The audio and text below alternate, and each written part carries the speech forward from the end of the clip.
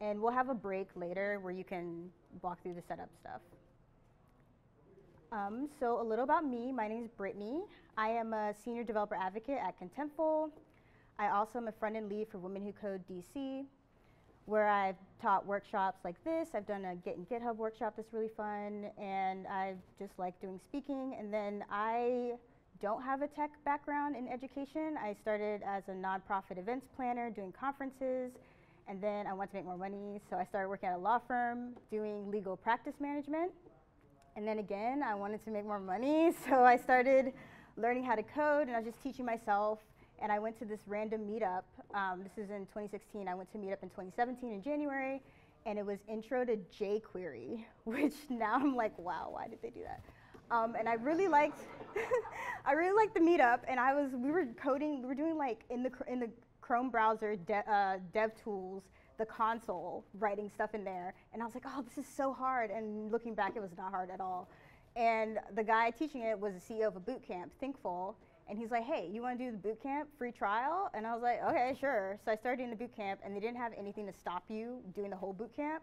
So I did like a third of it for free, and he's like, hey, you want to start paying now? And I was like, okay, fine. Um, so I did that boot camp. It was really great. And in the boot camp, I had a mentor who um, was teaching these meetups in DC because it was an online boot camp and they wanted to have an in-person um, presence. So he taught these meetups. He's like, hey, I can help mentor you if you come to the meetups. So I started going to the meetups. He would teach intro stuff. And then one day he's like, hey, I lost my voice. Can you teach? And I was like, okay, I saw you teach this thing 10 times. I'll teach. So I just randomly taught. And then I started teaching half of them. He was doing like three to four meetups a week. And I started doing that, and then while doing that, I got my first tech job at an agency as a WordPress developer. I did not know WordPress or PHP. They just liked one of my projects I made, and they just were like, cool, you can learn it. And I was like, okay, I guess I can. Um, and then I started doing Women Who Code because at my boot camp, they're like, hey, you've been teaching. You want to be part of Women Who Code because someone who worked there was a director of Women Who Code. So I just happened to be at the right place at the right time. And then again, I wanted to make more money, so I switched to a new job as a software engineer at a retail company, FrameBridge, that makes picture frames, like literal frames. And I was doing that, it was fun, but at the same time I was doing Women Who Code. My mentor left DC, he's like, hey, I'm gonna travel the, in, uh, in a van around the country with my family. Do you wanna take over the meetup? So I was like, sure. So I taught every Tuesday a free intro to coding bootcamp kind of thing for anyone in DC every Tuesday for almost two years. So I was doing that, I was doing Code, and I was like, I like the teaching and the stuff like that. So I applied for DevRel positions, and that's how I got to Contentful. And so, yeah. um, oh, and then also, I'm also known as musical web dev because I really like musicals, not because I have any musical um, talent. Um, and that's why I made this uh, presentation about music because I think it was fun. And Contentful does have a band called Content Types, and they have they have performed at like our all company meetings and stuff, and it's pretty it's pretty cool. So yeah. Um, so the project we're going to make is the story is Spotify Wrapped. I have a beef with Spotify Wrapped because if I binge listen to something, then that's my whole Spotify Wrapped. So like one year, I listened to Waitress the Musical in January for one week straight, so my whole Spotify Wrapped for the whole year was like, you're the top listener of Waitress the Musical. And I had forgotten by the time Spotify Wrapped came out that I even listened to Waitress the Musical. So I wanted to make this cute little project where every month you save an album that's your favorite so that you get more of a picture of what you like throughout the year.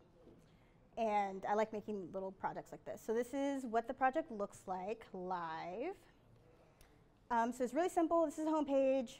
Oh, wait, let me zoom out. There we go.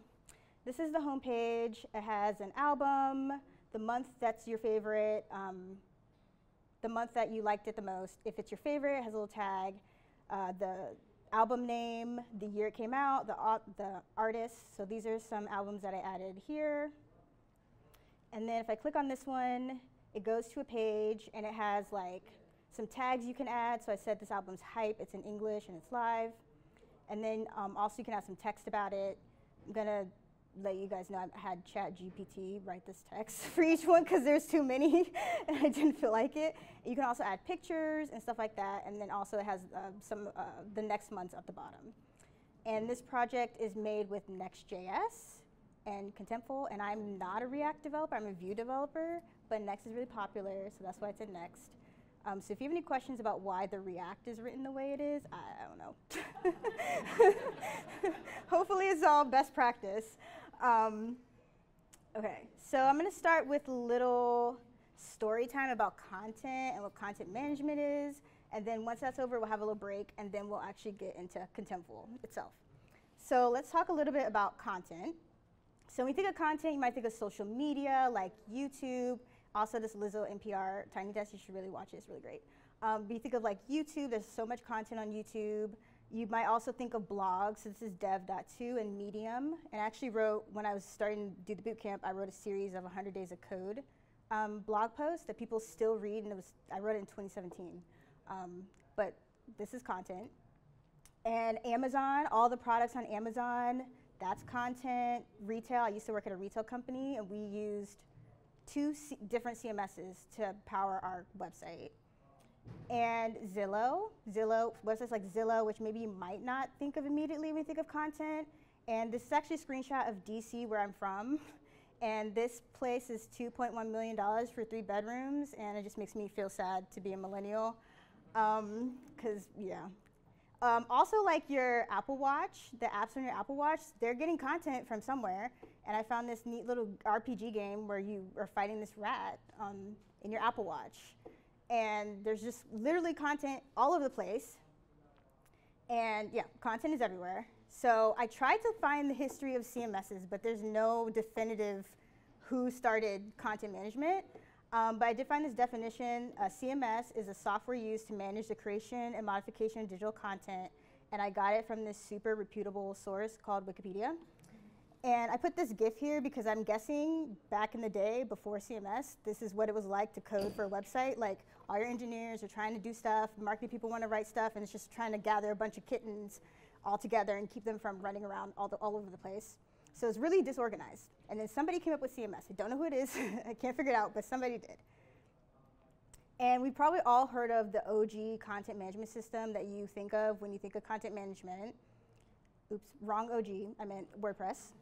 Um, so WordPress is a content management system many people have heard of. Like most of the web is still built on WordPress, and like a lot of big companies like I think CNN or like BBC or something uses WordPress. So like a lot of people still use WordPress. I know a lot of people don't like WordPress because um, I used to be a WordPress dev.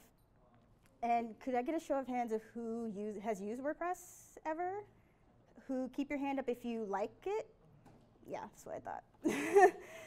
um, and so talking about old school CMSs like WordPress. So if you're not familiar with WordPress, it's a content management system where you can spin it up really easy. It comes with the front end. It has the front end for you. you it has an admin area, and it starts out with your content is pages and posts. That's how basically it starts out. And you can customize it, but it's not that easy. And you have to know PHP to do it. And a lot of people don't like PHP. It's not as cool as JavaScript. Um, so some stuff I had to do as a WordPress dev when I, work, I was working on a project. I have to set up the server and database, do all that kind of stuff. I like that. I'm a front end dev. I like the, uh, the styling and all that kind of stuff. I have to maintain the CMS, keep it up to date. WordPress updated so much all the time, and it'll be breaking changes. PHP would also update, and it'd be breaking changes, and you have to fix your custom plugins and all that. And I also something like that. Um, and then I had to do a lot of DNS stuff and traffic and all that kind of stuff. And like I just said, I like CSS, so I didn't like that. Um, and then other stuff I had to do was I had to help clients update their websites, help train them to use it um, on their own, which is a really positive thing of WordPress. It's easy for people who aren't devs to add content. And I actually like that part of, of it. Um, and so WordPress was king, and some people came about, again, could not find the actual people who started this, but they came about and made it headless CMS which means that you it provides the admin part for you and you provide whatever front end you want. So you don't have to use PHP. You can use React, Vue, Angular, whatever you want to use, and that's what headless is, and that's how C uh, Contentful came about. So in 20, I think 13 or 14, the creators of Contentful were looking for a CMS that you can use the content on mobile apps. Because back then they didn't have a CMS that did that well. So they created Contentful. And you can use literally any programming language you want with Contentful. and it's like a blank slate. So when you open it, there's literally nothing, which some people hate because they're like, what am I supposed to do? But uh, it, it's not like WordPress where you have to undo the pages and post thing. You just do whatever you want, organize it however you want, use whatever programming language you want. And that's what headless is. So Contentful is a headless content management platform. Um, so Contentful, composable content management platform, headless, etc. Um, uh, our theme is you use structured content on any platform. So you put in your content in the web app, and you can use it on a billboard, you can use it on an Apple Watch, you can use it on mobile app, website, and it's all, uh, the results are all in JSON so that you can use it on every platform. So like WordPress, in the WYSIWYG, you could put anything in there, including HTML. Once you put HTML, now you can't use it in the iPhone app. Or I don't know what billboards you use, but you can't use it there. So um, the whole point of Contentful is that you can put your content in here, use it anywhere, and you also need to structure your content, but you decide how you want to structure it. Um, we also have a lot of open source tools. Our APIs are all open source. So if you find a bug, you can open an issue and hopefully somebody will look at it. um, we also have like a design system you can use if you want to customize Contentful and make your customizations look like Contentful. You can use our design system. And a lot of our tools are open source so that you can customize Contentful to do what you want it to do. Um, oh yeah, so you can customize everything. I put an asterisk because you can't customize like literally everything, but it's almost everything you can customize. Because um, when you tell a dev you can customize everything, they're like, oh really? Let's see if you can. Um, and then we also have a lot of APIs that you can use. So we're like, uh, I think originally our tagline was like API first content, headless content management platform. Um, so yeah, that's Contentful in a nutshell. Um, so a little bit more detail of what we have at Contentful. So this is an example of what the JSON response would look like. So if you had an entry that was like a blog post, and you had a title field in there, and the text said Beyonce for president, uh, this en-us is localization. So if you uh, want to translate your, your website, the en.us would be English, and you can have FR, FR for French, etc. Um, and then the body, you can have text here. So this is kind of what the content looks like. So it's just really simple JSON that's really easy to consume in whatever language you want it to be consumed in. And then I'm going to go over some of our APIs. We will use two of them today. So the first one we have is our content delivery API. This will give you um, content that's published. So if somebody goes in, they make an entry and they publish it, you will get all that content in the content delivery API. And it's read-only, so if somebody gets your API key, it's okay. Um, that's the API key you would use to like display your content. Um, and you can use it REST API or GraphQL um, with that API. And then we also have a content preview API, which is exactly the same, but it only shows draft. So if you want to have something set up where you have like marketing people putting in copy or making pages, they can see a preview before it's published if you use the preview API. Um, and then we have the content management API. This is like the one where if your API key gets out, that's bad.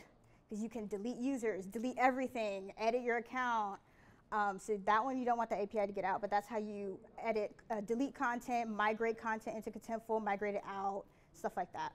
And then uh, we have GraphQL API as well as REST. So the content delivery, which is published, and the content preview, which is draft, you could also use GraphQL with that. And we have a few more APIs, but I really like our images one. I think it's pretty cool because you can like crop images, change the format, uh, change the size, add a border, padding. You can do a lot of really cool stuff just via the API with the images API. So those are some of our APIs, and I just wanted to put this here because we have a lot of them. Um, okay, so I'm going to show some examples of what people use Contentful with. So this is like a typical client. Like this is Clover, which is a payment processing company, and they use Contentful for the like marketing website. So it's like a typical client where the content here on their website is in Contentful somehow, and they've organized it however they want to organize it. There's no specific way I mean, we do have best practices, but they could literally do whatever they want. Um, so this is an example probably of like most of our clients are doing. Um, and then um, another client we have is Sticker Mule, and they're using Contentful for their blog. And I thought these stickers were really cute, so that's why I picked this page. Um, but they're using Contentful for their blog, which is probably another really popular, typical um, use of Contentful. And again, there if like Clover and Sticker Mule both have blogs, the content structure might be completely different based on what they want.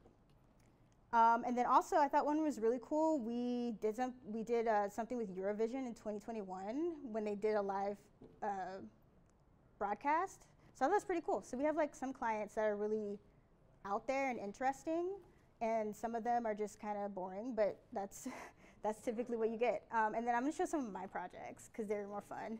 Um, so I really like musicals. So I made this website called Theater Log to track all the musicals I've seen since 2008 and this was my first Contentful project. So in DevRel, in your onboarding, in your first month, you make a project. So I made this project with Contentful. And so all this is coming from Contentful. So there's like a little card for each show, and then how much I paid, how many times I've seen it, this links to a favorite song, etc. And I originally already had this project before I started Contentful, but my data was just in a JavaScript file. So I had to migrate my data into Contentful, and it was it took like five minutes. It was really quick and easy, because that's that's how it works. um, and another project I did is I made a periodic table of Broadway musicals. So as like all my pro- I have like ten Broadway projects. Um, so like the shows, girl power shows, Legally Blonde, Wicked, etc. And this is all in Contentful. Um, and this one was not as easy as the other one because there are no APIs for theater, so I had to manually add 118 shows into it. But um, if there's an API or you have the data already, then it's pretty simple. And one other project I want to talk about is this is a community member, so somebody who uses Contentful for their personal projects or in work, and he made a site that shows all the Lego Legos that him and his family have built. So like these are all the things his family has built with Legos, and like this is his family at the bottom. And he made this project is built with Gatsby and Contentful, um, and he actually is part of our writing program where we have people write blog posts for us. So we sent him these these little minifig, custom minifigs. So I thought those were really cute. Um, but yeah, so people use them for like serious stuff, like marketing website for actual company that makes money, or to track your Legos that you built. Um, it's a really versatile um, platform. And um, one other place, if you want to see more examples, is on our website we have a section for like clients and like case studies, but it's kind of a little boring because it's marketing websites and stuff like that. But we also have a developer showcase, which um, Contentful or the DevRel team created. And people have made different apps you can install. They've made projects. They've made um, blog posts, videos about Contentful, and these are just regular developers, not company. Um, so it's like a good place to like get some ideas of like how to make things, what people make, stuff like that. And you can also submit things you've made. Not the project we do today, because I made that. But if you make something else, uh, feel free to submit it to the Contentful Developer Showcase. Okay. Okay, so we're going to take a little break. Um, and during the break, please make a Contentful account. and um, yeah, so I'm just going to do like a five minute break really quick. And um,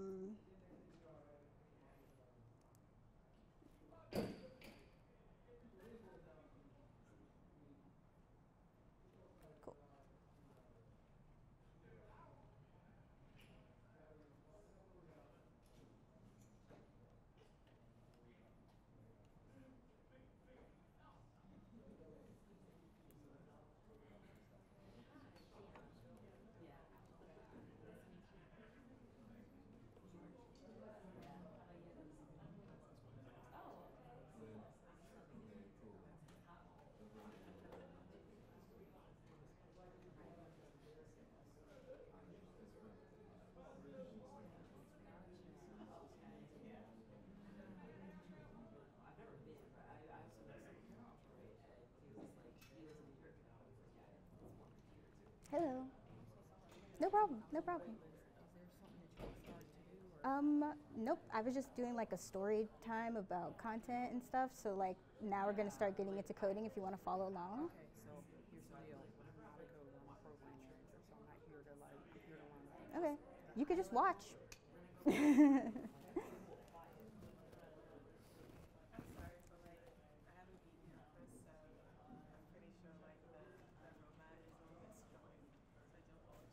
oh, no problem. No problem.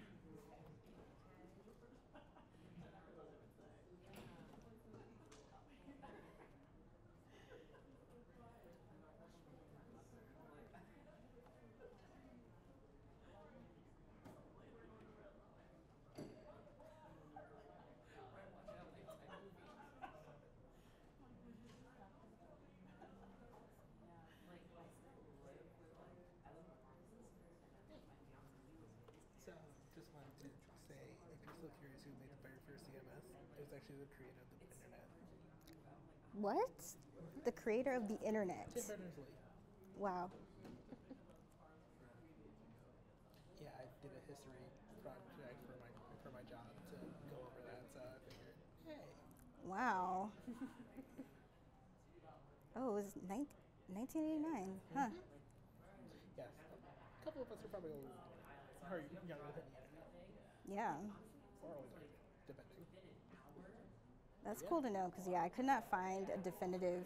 And a lot of people were like, it was us. But actually, it wasn't us. And I was Yeah, a lot of people like stake claim to it, but then it's kind of funny when you like actually trace it back to like, the actual like originator, and then you're just like, oh yeah, um, the internet's kind of just a giant CMS, when you really think about it, so it stands to reason who actually made it. That's cool. Thanks for that.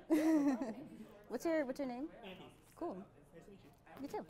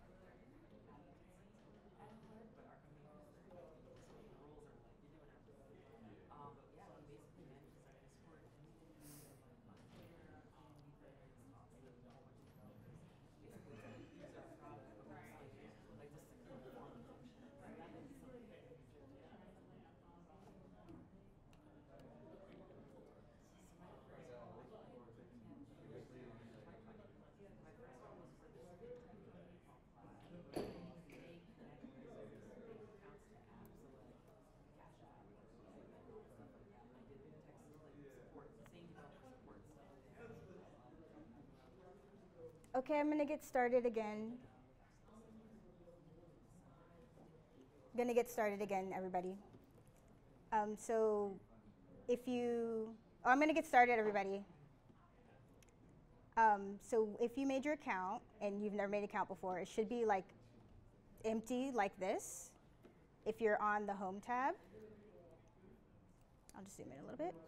Um, so, in content, so can anyone confirm you're like on this page as well? Okay, cool. Oh yeah.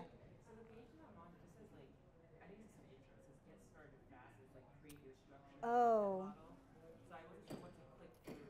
Is there anything to click no? start from scratch? Yeah, start from scratch. If you click the other one, that's fine as well. Um, but just try to get to this home page if you can.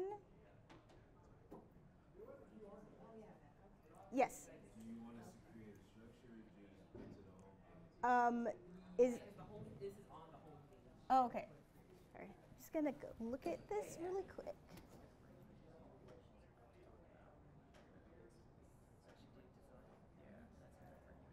Okay, actually, you can just click on the content model tab.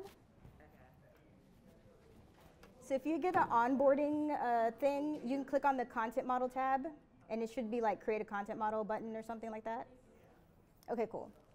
Did not know they added a new user flow to the thing. Um, so where you are right now is a contentful space. It's similar to like a GitHub repo. It's just like a storage place for your project. And there's like settings you can do. You can add users, things like that.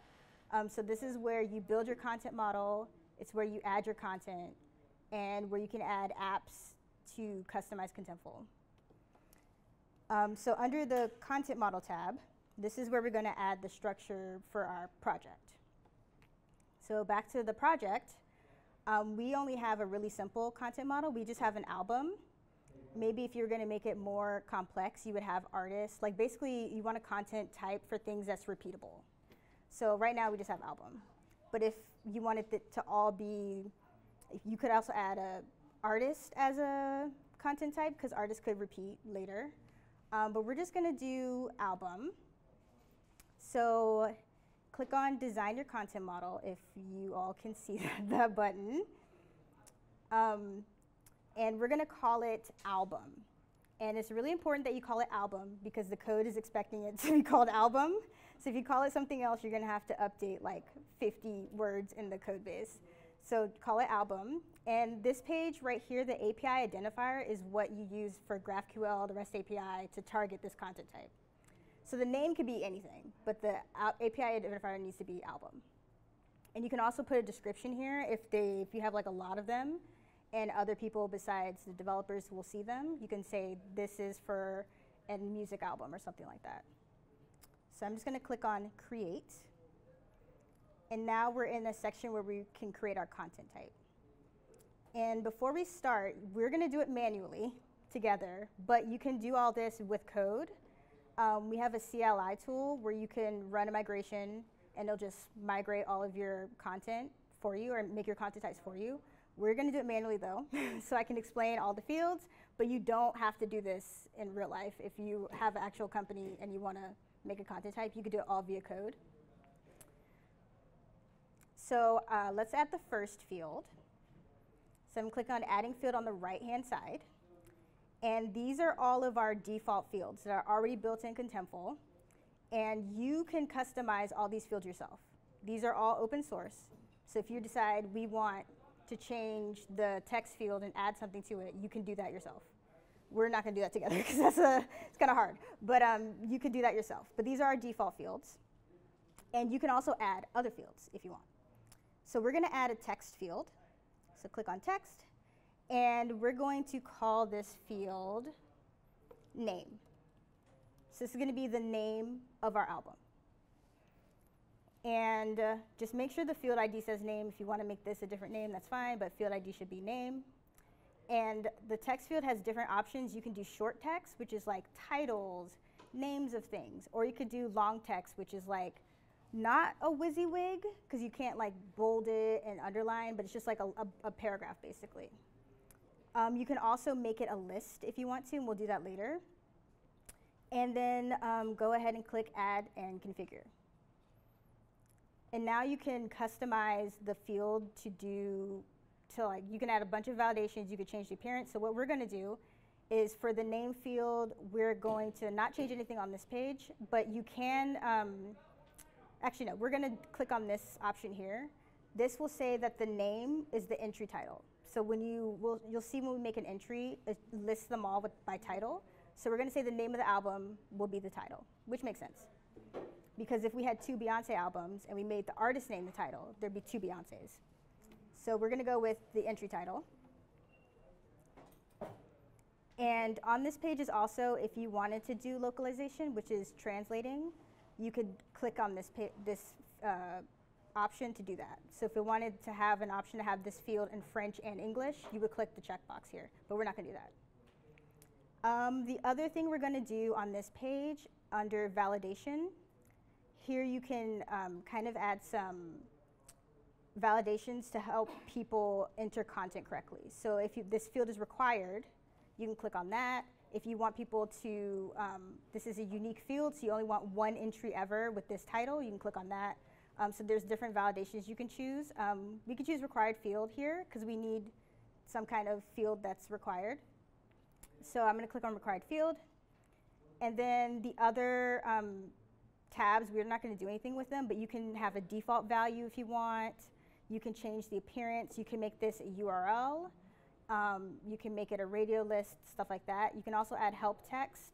So if you have a lot of fields, it's really, so name is pretty generic, so it might be the album name here so that people can see that it's for the album name.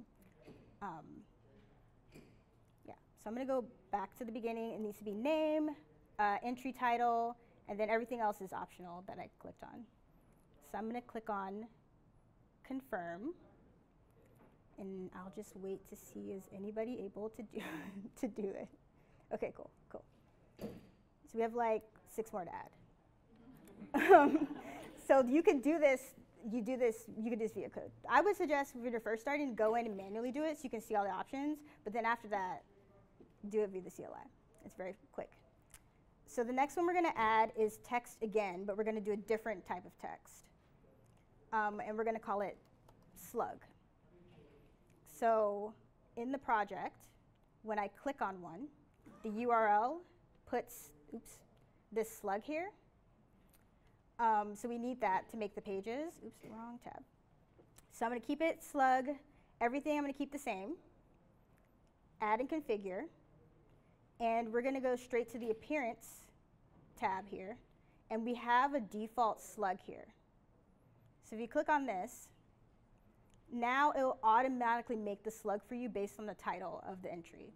So if you type Homecoming, the album, in the entry, it'll automatically make slug the Homecoming. And every time you update the title, it'll change the slug. So, and also you can, if you had more text fields, you can choose a different text field to make it based off of. We're just gonna do the name of the album as the slug. Okay, does that make sense? okay, and then confirm that. And just to show you another example that has more words in it, so this Green Day album, see how the slug is bullet, dash, in a Bible? It automatically does that for you when we choose the slug appearance. Cool. So now we're going to do a different type of field. Um, if you scroll down, there's a media field. This is for images, files, videos. And we're going to call this album cover. And we only want to do one file, but you could do multiple files or just make it an array. We're just going to do one file. And add and configure. And there's nothing really we need to change here. Um, just under appearance, there's some options like when you uh, are adding an asset, you can choose to choose an asset that's already exists somewhere else to put in here instead of uploading it every time. But we're just going to leave it by default. Yep. Where are you finding that drop down when you go to appearances? Because all I see is the single line, the URL, the drop down radio, and the slug. But I see that you had a whole bunch of other options when you went down. Um, for the uh, text field, Yeah, yeah, because now you're scrolling down, but I can't do that underneath. oh, you're not at, you're not able to scroll.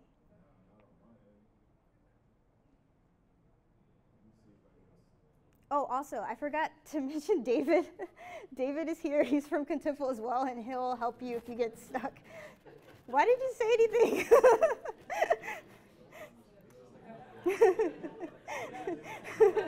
he's, he's not a random guy. yeah.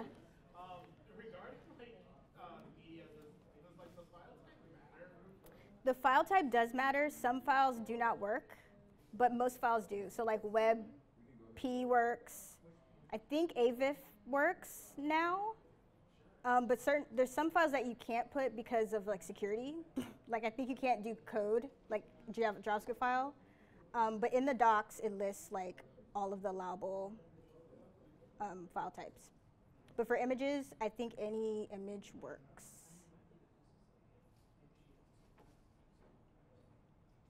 Yes. So it says that you can enable localization on the medium as well. But that- Yes. So it can translate like text on the image. Um, I don't know exactly what this will do if I do it on an image, but um, you do have like text fields with the image, with the assets. So like you have a title for the asset and you have a description, and a lot of people use the, the description for alt text. So it might be localization for that, um, but I'm not clicking on that. That that would make it so complicated if we started doing localization. Um, but we can look at it later to see what it says. But yeah, the, it doesn't automatically read stuff, but we do have an app that will read the ta- read the image and make tags for it and all kinds of stuff, um, but not automatically. Did you figure out your scroll? I think so. Okay. don't have my contacts on as well. So Oh. cool. So we should have name, slug, album cover. And the next one we're going to add is release year. So we're going to click on the number one. I basically tried to make it so we use every type of field. Um, so this is the release year of the album. And for number, you can do integer or you can do decimal. We're going to keep it at integer.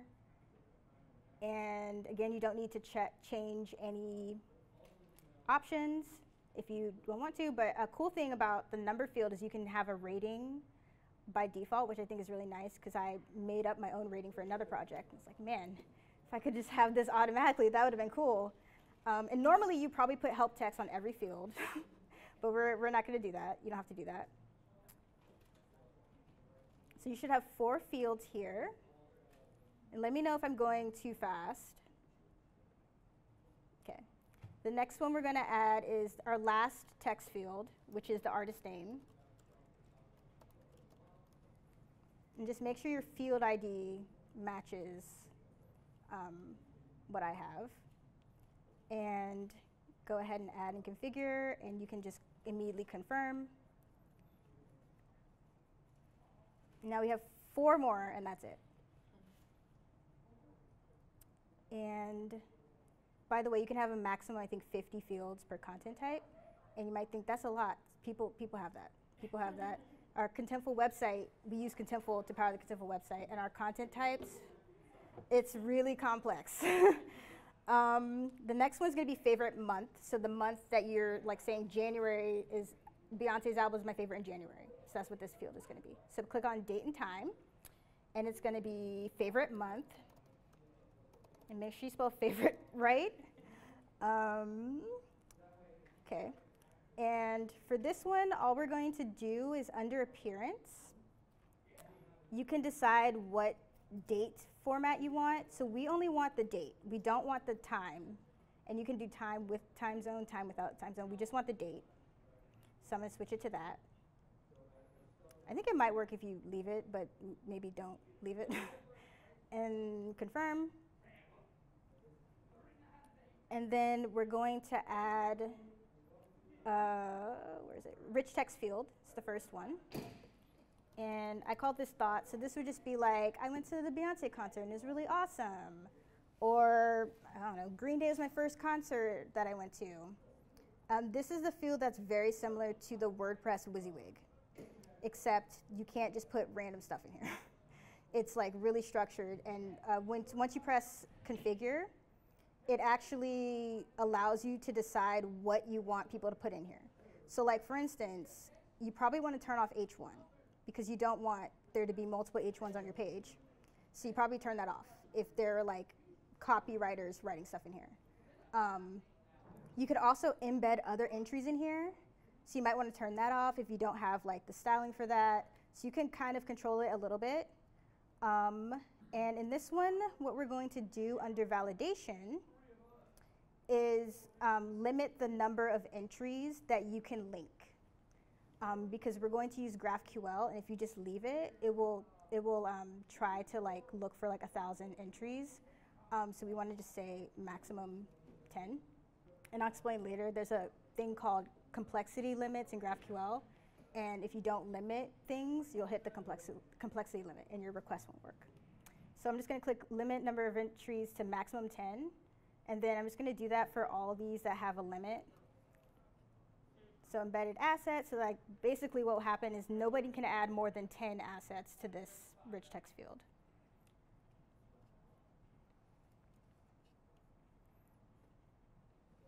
So you should add it for embedded inline entry, link to asset, embedded asset, embedded block entry, and uh, link to entry.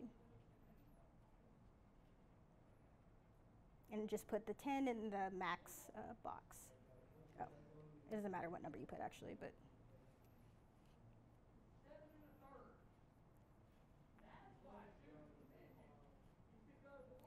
And you can confirm that. I wonder what's going on over there. Um, okay. Okay. Two more. And this part is the part we need to go slow because if you don't get this right, it's not going to work for you. Um, so we only have two more. Um, so I'm going to do text again, but we're going to do a different type of text. Category. So for this one, on the, each of the albums, I put like if it's in English, if it's a live album, because I really like live albums, or like this Selena album is in Spanish, so I put Spanish. Um, let me give you some more examples because it's kind of hard to think of them. Hype, I think I have chill, just whatever kind of thing you want, because you're gonna have to make a list. This is why I'm telling you some examples. Um, so under here, we're going to choose list this time. So this will allow you to put multiple values under the same field and it'll make it an array. So I'm gonna add a configure and under appearance, you can choose if it's gonna be like a tag or if you wanted to make it a list where you like enter it, press enter and it shows up, or you can make it a checkbox. So I'm gonna make it a checkbox so I can see all the ones that are listed. And under validation, I'm going to choose accept only specified values. And here's where I'm going to add like chill, English, Spanish, hype, live, and press enter to, um, to add it. So just whatever albums you like, angsty, old, um, just whatever values you think you might want to use later and then these, these will show up as the check, check boxes. And you can add whatever you like. And I'm going to click confirm.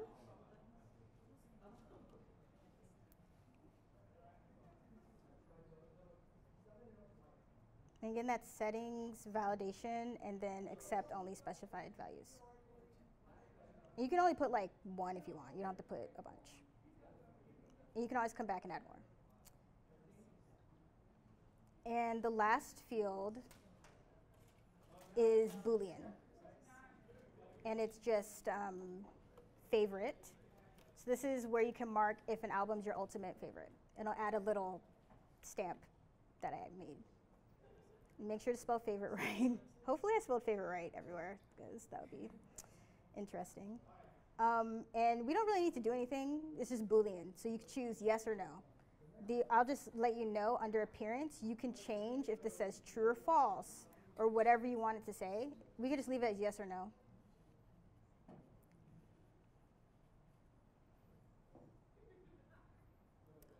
And I'm going to confirm that. So I'm gonna let us have a break and let me or David know if you need more time or need me to go over another one. Yes. Do you need, okay. Okay. Uh, David, can you help her right here in the front? Anyone else?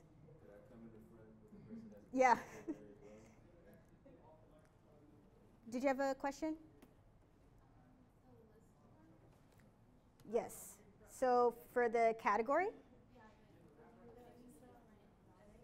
under validation, check accept only specified values, and then type whatever you want, press enter. And just any, whatever albums you like, any vibe that you want to put in there.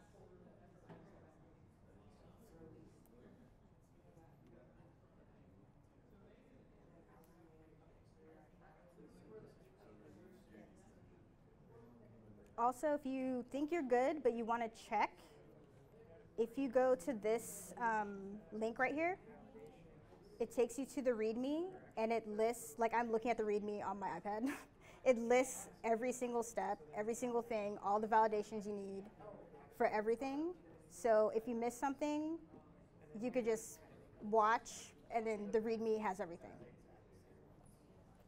So if you miss something, it's definitely there. And step, I think, two is where it lists all the fields.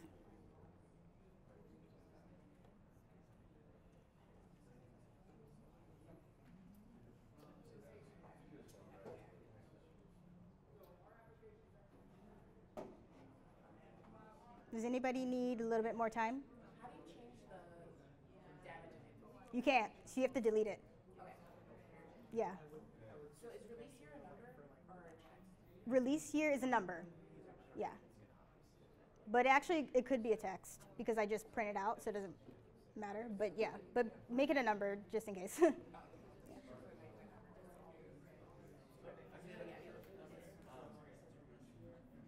say that I created a content type, um, but later on I wanted to add some additional features. Uh, is there like a best practice for setting up big physical records and move forward with things? So the question is say he made a content type and he wants to add new fields to it. Are there best practices on what to do? Yeah, like for example, like how does that go? Like, will it automatically create like an reference to that with all the Nope. So you have to do that. But we do have a couple of apps that help you. So there's an app that, like, if you want to merge content types, it'll help you out. Um, there's an app if you want to like use a content type as a template, so you don't want to completely copy it, but you just want to use parts of it. But you basically have to tell it what you want it to do. yeah. Oops. Oh. Okay.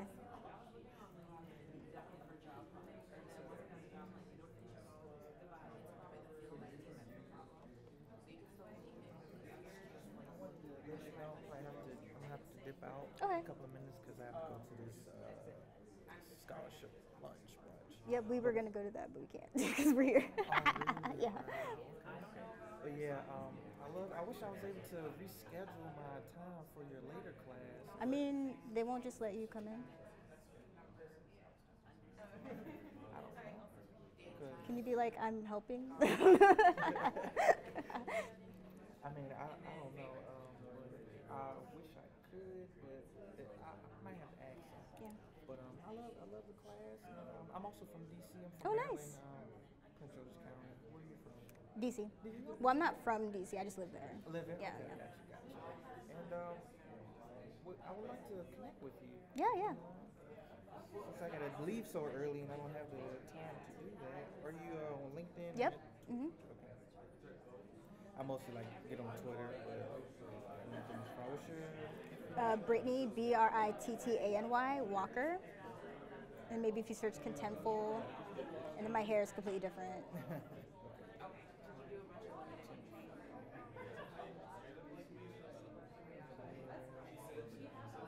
Ah, I see. Have the hair on. From like 2015. Yeah. Gotcha. All right, I appreciate it. Yeah. Thank you for coming. Does anyone else need help? No. Yes. Yeah, you don't you don't have to put anything in minimum, just the max.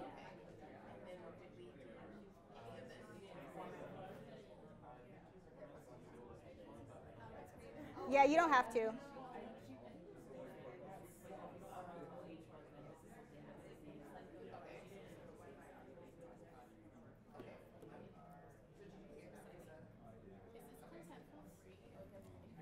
Yeah, um, there is a free account. It just has limits. Like you have 2 million API requests, or it might be 4 million. We just changed it. You have 20 content types max. So you could do a lot with the free plan. And then once you start hitting limits, we'll be like, hey, you want to start paying? but yeah, you can start off free. So I have a lot of free projects on there right now.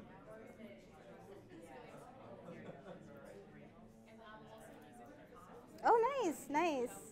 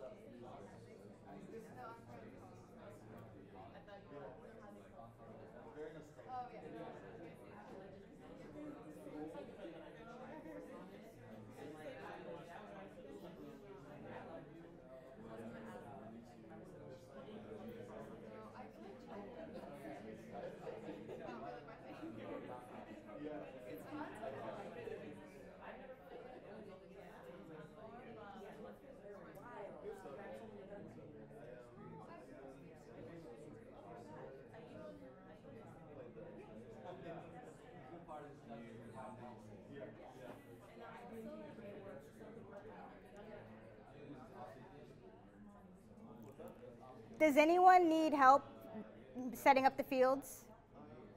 Is everyone good? Hello? Is everyone good with fields now? Anyone need? Okay, cool.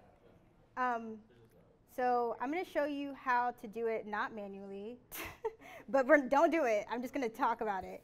So in the README for the project, um, so like typically when you do a starter project, we already made the content model. So instead of making people manually do it, we have a script that you can run that if we export the content model, you could just import it. So this is an example of one. So you would run this script. Uh, you have every space has an ID, which I'll show you later. And then you use that API token. I said don't share with anybody ever because you could delete everything in your account. But that's the API token you use, and you will you will uh, run a script that will grab the export. So I exported the whole space, and you would run a script that will import this. So you can see here it has slug, type slug. Here's album cover. Here's release year. Here's, let me go to one, here's the rich text field. So import all that for you. So instead of us taking, I don't know how long it took us, 15 minutes, it would take uh, one minute to import the content model. And you can also do that with content as well. Um, so if you want to try it, you can do it with the project. Um, you could delete your album content model, not right now, later, and then try to Im import it again. Um, and again, on the README, it has all the stuff in here. It has literally every single step, like step by step by step. So if you miss something, it's in the README, um, so you don't have to worry about missing a step. Okay. Oh, the README, if you go to this link, this uh, render-workshop link, ctfl.io slash render workshop. That has the README. So everything I say should be in there. um, For, so does that script like generate the export JSON file itself, or is it Nope. that um, that I um, I wonder if it's still my history. Hmm. Let me go to the docs and show you. Um, actually, I'll go to the. So that's using the Contentful CLI. And let's see if there's.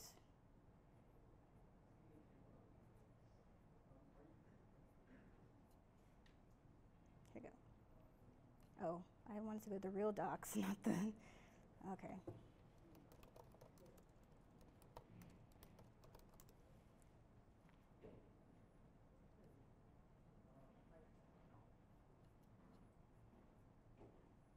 Okay, so this is an example of what it would look like. So you have to install the CLI, and then you do Contentful login, and it'll connect to your Contentful account. and then you would do contentful space export, and then tell it what file you want to export it to.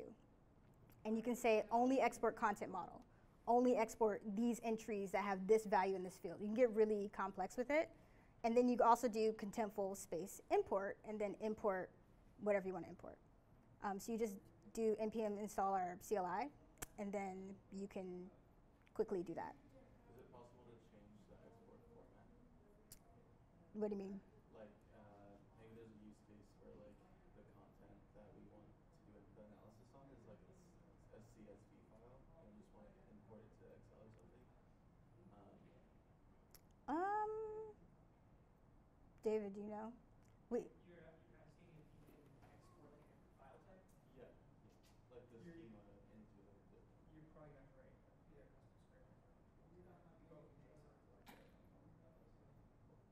So the answer is you have to write your own custom script. I think we do have tools though. We have something for CSV for sure. So I think we might have built some libraries for you to do that, so you don't do it from scratch. Um, but yeah, so this is also the tool you would use if you want to do migrations. Like, say you have all your data in WordPress and you export it to something and you want to migrate it to Contentful, you can use a CLI to do that. Which is how I did, how I got my data from my theater log, which was a JavaScript file, into Contentful. Okay, so we have our um, content model. Hopefully, at least some of you have it correct. Um, so now we're going to add some actual content. Again, everything we're doing, you can do it with code. we're just going to do it manually because it's easier to learn that way. Um, so make sure to click Save for your content model.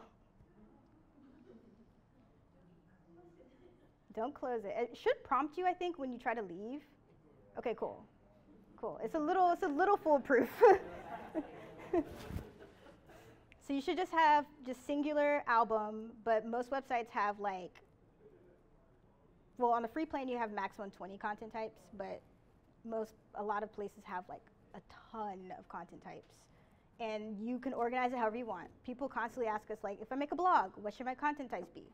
Could be whatever you want, eh, which is not a great answer, but um, that's that's the answer we have. Um, so if you click on the content tab, this is where you will add your content, and it should have nothing.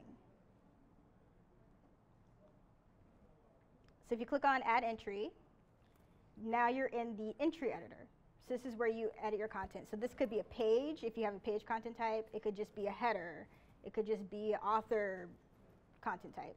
Um, so all of our fields are here. So the name one is here, slug is here, album cover, all of them are here. And so we're going to add an entry together, and then you're going to add your own entry later. Um, and also you can see since the name field is required, on the right the publish uh, button is grayed out. So if you have required fields and they're not filled out, it won't let you publish. So what I would like y'all to do is go to Last.fm, because this is the easiest way. go to lastfm.com and search for an album. Don't take forever, just pick, just pick any random album and go to the um, album page. So I'm just going to do Beyonce Homecoming. And the reason why I picked this is because it has all every single data point on this page. So it has the artist name, the album title, it has the image, it has the release year. So those are the things you need. Um, so just pick any album that you want. And I'm gonna put, I'm just gonna copy the album name from Last.fm and paste it into my name field. And you can see the slug change to the name of the album, by the way, automatically.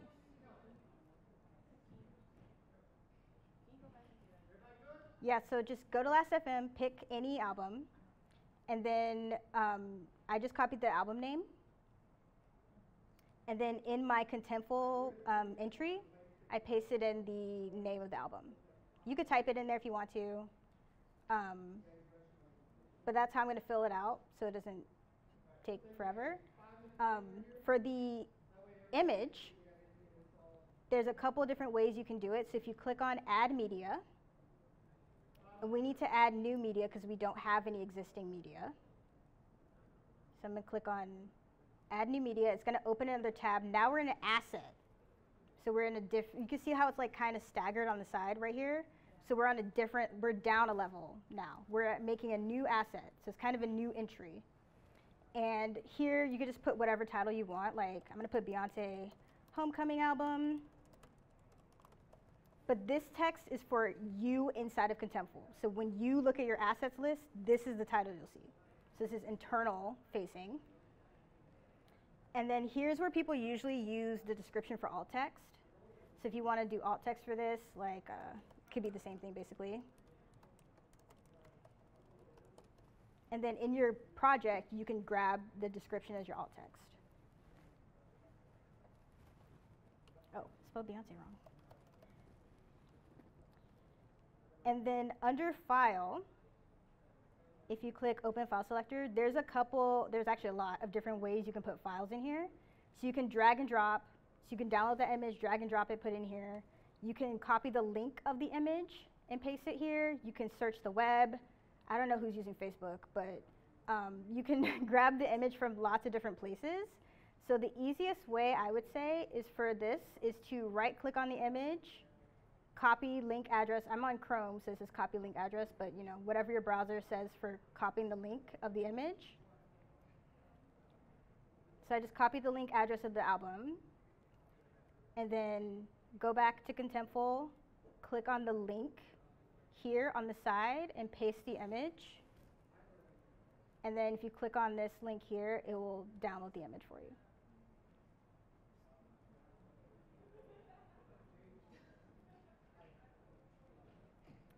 If it works.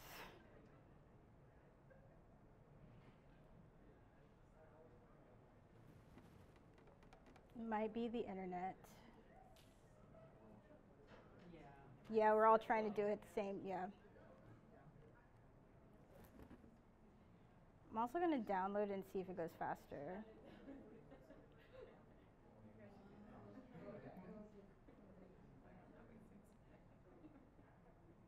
Okay, let me try.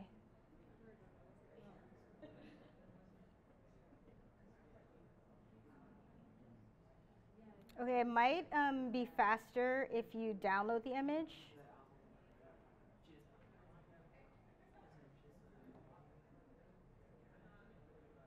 Was anybody able to get the image to show up?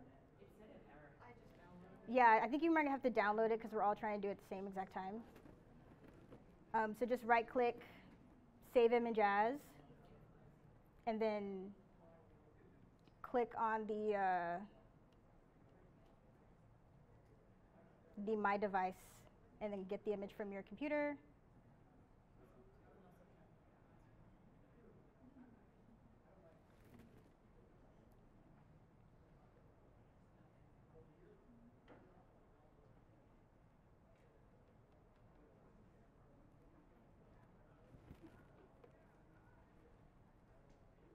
Yes.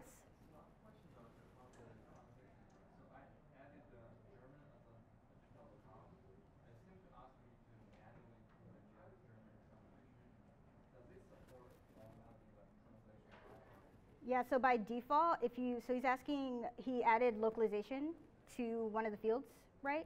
And it's blank. it didn't automatically translate it to German for him, and by default, it doesn't automatically translate. Like everyone probably was manually translating, but we do have an app that you can add, and I'll go over apps later, that will automatically translate. And we have, actually, we have multiple translation apps. So you would add the app, and then probably it would add something in the sidebar where you say, please translate these fields. It's immediate.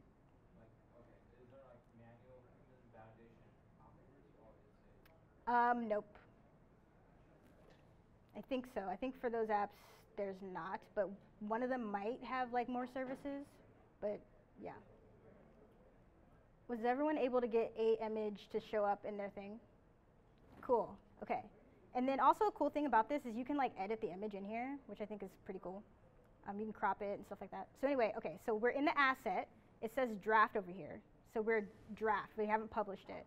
So for this image to show up, we have to publish it. so click on publish. And then you're gonna wanna click on this back arrow to go back to our entry. Because we were technically in another entry for the asset. Publish the, it doesn't matter if you publish either one, but publish the asset for sure, because otherwise it won't show up. Right now, if you publish, nothing will happen because you're not connected to a project yet. Um, and it'll say published in here, and if it's not published, it'll say draft. Yes. Uh, David can help you. We're gonna do another entry alone, so like we'll have time to help each of you. Um, and then the rest of it, just fill it out from your Last.fm. So release year for me is 2019. Artist name is Beyonce.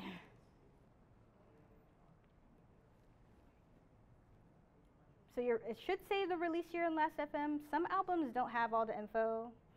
Just make up a year or something.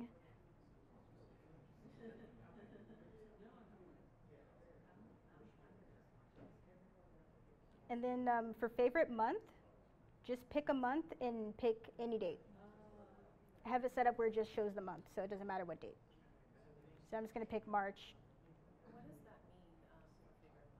Um, so the project is like to, to track your favorite album each month. Oh, So you're saying Beyonce was my favorite in March. oh. Yeah.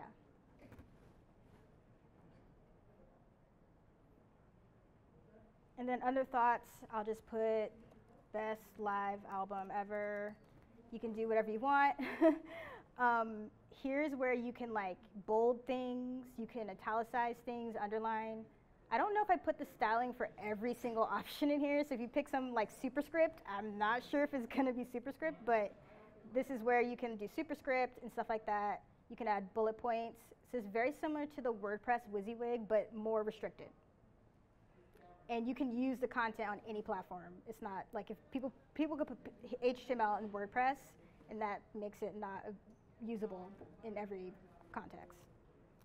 Um, and then you can also embed other entries here, um, but we're not gonna do that. But you could put like another image here. You can link to another entry here, stuff like that. And then under category, you should have a list of the ones you put in the validation. Um, so I would just pick a couple so it shows up. And then you can mark if it's a favorite album or not.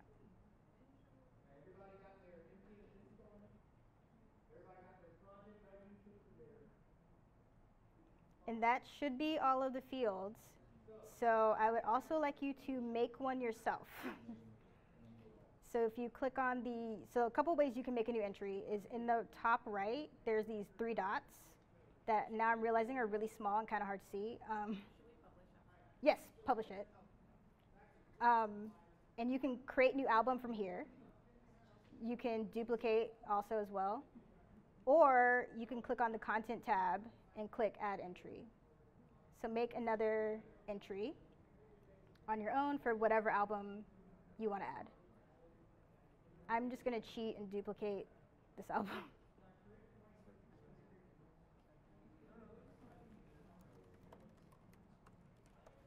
And raise your hand if you need help with anything.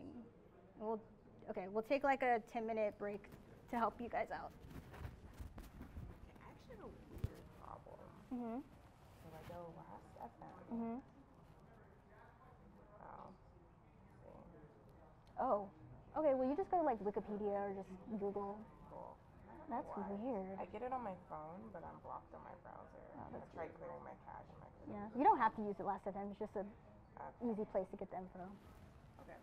So like with the album. Yeah, and just you just need the album info basically.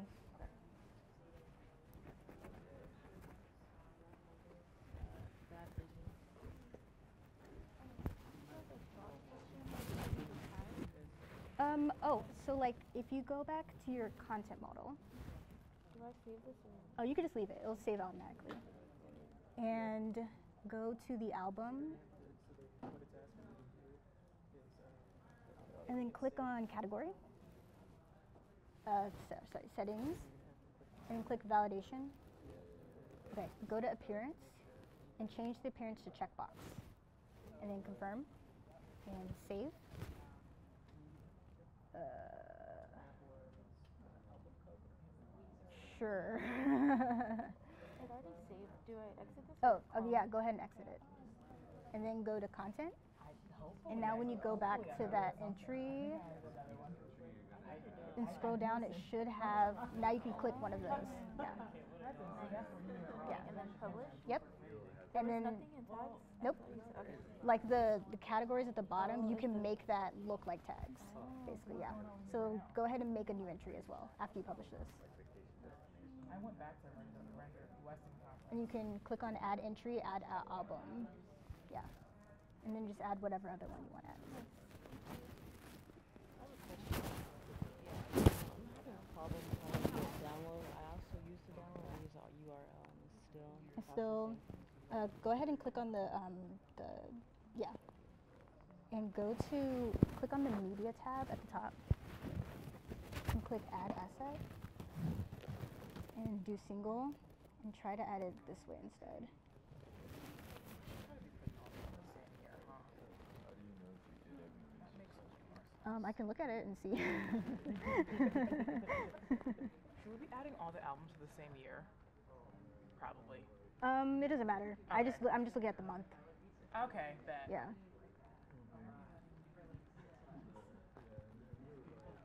Oh, it worked. This worked. I don't know Sweet. So- to us. Very weird.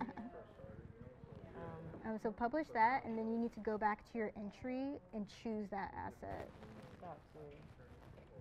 Um, so click on the content tab Did it save? at the. Yep, it saved it. When it's it's green, it's good. And click on swimming, and then oh my gosh, just exit that. It's like a new user thing. So click on sorry, um, where it says album cover. Click on the three dots next to yeah, and remove that. So that's the one you were trying to do. And under add media, do click on it and do existing media. That's the one that I already uh, downloaded. So now you can yep. Ah, there you go. So I'm gonna be adding entries and not just this one. Adding Yeah. all from this album or Um, different albums. you can add different albums. You can do a song if you want, but just add at least one other one. Okay, and then I'm gonna finish this and then ask you another question. That's fine. Okay. What's your name? Brittany. Brittany. Nice to meet Thank you. So, So for the name, you just want to put the name of the album. okay, so I think that's what it's titled. What is what is slug? What is what is So slug mean? I don't even know what that. it's like for the uh, you know URL has like slash something something, Uh, but if you go to your content model, it'll, au- it can do it for you automatically. So you click on album, click on settings for your slug, go to appearance, and click on slug at the end. And then scroll down to the and click confirm, and then click save in the top right. So now if you go back to your content tab and click on the album and then X out of that. Now type the album name again. Uh, no, um, in the the first, yeah. Delete delete that. Type it again. Oh, it's supposed to automatically do it. What the heck? it could be because I just grabbed this URL right Yeah. here. Maybe it's a little confused. I guess go back and just put purple without the exclamation point in the slug. And lowercase. No, uh, in you. Well, it doesn't matter. Go ahead. And put the same in the slug. Put the same in the slug right here. Yeah. And then scroll down. Keep going a little bit more. Okay, go back to your content model. Click on album. And delete the album cover one. So click on the three dots, yeah. Click on that. Click, uh, so you have to click on disable and response first. So basically, if other people were in here, it won't let them edit because you're about to, ed- to delete it. So then click on save in the top right corner, and now you can delete it after it saves And why are we doing this? because you did the wrong type. um, and then click add field, uh, media this time, and then album cover again. And then add and configure. Oh, uh, X out of this, and then just refresh. There you go. It deleted now. Okay, now add field, album cover, and then add and configure, and then you can confirm. You don't have to do anything, and then save your content type, and then go back to content, and now you can add the album cover as an image. Does that really show up every time you?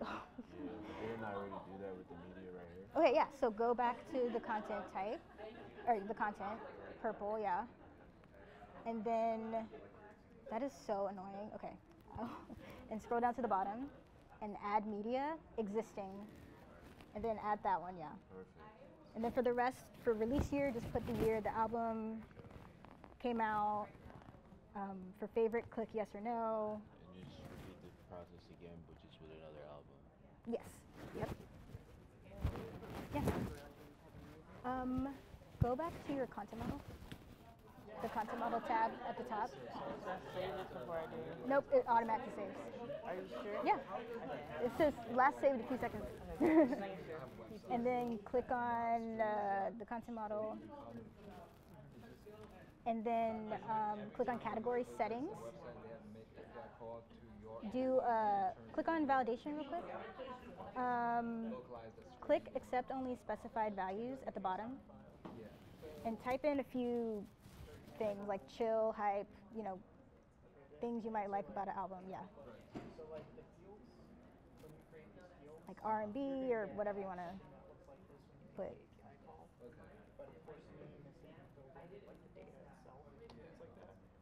So in that case, does it mean like kind of will become like a single point of failure? Okay, that's enough. and then confirm. Uh, oh, sorry, there's another thing. Click settings, click on appearance at the end, and click. Uh, um, yeah, drop down. And then save. And now when you go back, you can choose. This doesn't auto save. No. But if you try to leave, it'll say, hey, you didn't save it. And then go to content tab again, click on the album, and it should have those options now. Okay, so we host to ourselves like. So now you can choose one of those. Yeah. Do I follow the same steps that we did when we made all those? Uh, All the fields. yeah. Nope. You just have to click those three dots in the top right. On the top. Yep. D- uh, right below settings, there's yep. a- Create new album. And now you just enter whatever album you want in here. So it already had everything that I set up. Yep. Already has it. Mhm. Yep. Interesting. So another question. Very dope. Before I add more entries, is everything okay on this And what's your When it SLA? comes down to Hold on, I got another. Go ahead. I'm sorry. No, no, no. no. Um, click on the the name and description. Oh yeah, I just I just Oh, no. Like click on click on that. Click on the tab where it says fields. Click on name and description real quick. Uh, that's fine. You can do you can do whatever. Uh, click on fields again. Um, click on the three dots next to save. Do duplicate and put um, API identifier. No, um, in, yeah, put album, lowercase a. And then um, under name, put album, I guess. Yeah. And then uh, duplicate. So you're gonna have to redo your album because before your um, yeah, go ahead click that. Uh, save changes. Because before your um, API was your name, but in the code it's gonna be album. So you would have to update your album like 50 times. So instead, I just you just copied it. So you just make the entry again. So go to content. Um, click on uh, the content tab. Yeah, and then add entry, and just make sure you're adding album. Yeah, okay, okay, okay. So it's all synced into one. yeah, yeah, So I'll have to do that over again. yeah. Right. So how does this translate into my code? Like, We, don't, we haven't got there yet. okay. Yeah. So just add more entries and then we'll. Yeah, yeah, okay. And do a lot of front end developers like to use content content? for- Yeah, it's super easy. Because Yeah. I'm front end, I don't like back end. So it's really easy. And if Same. yeah, so do I have to pay for this platform Nope. if I wanted to use it? Um, it depends on what, if you want to use it for your company and you're going to have like 4 million API requests a month, yeah, you're going to have to pay. But if you want it for your, per- your portfolio or a side project, no. Yeah. This is dope. And they tell you only to put one project in a space, but I have like five projects in space. Cause Now, when I go like after this weekend, if I want to revisit everything again, do you guys have stuff online that? yeah, yeah, for sure. yeah. I'll go. I go over resources at the end, I guess. Yeah. Yeah, yeah. Brittany, Yeah. Yeah, nice to meet you. Likewise, yeah, sure. Thank you. Yeah. Does anyone else need any help? Cool. Cool.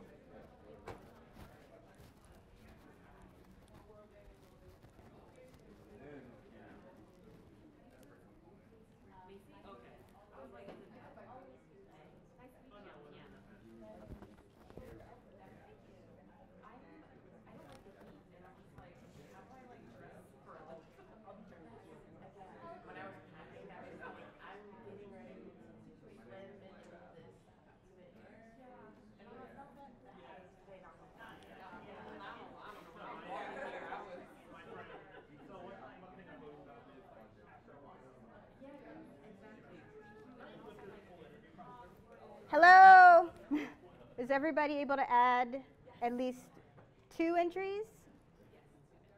Okay. Cool.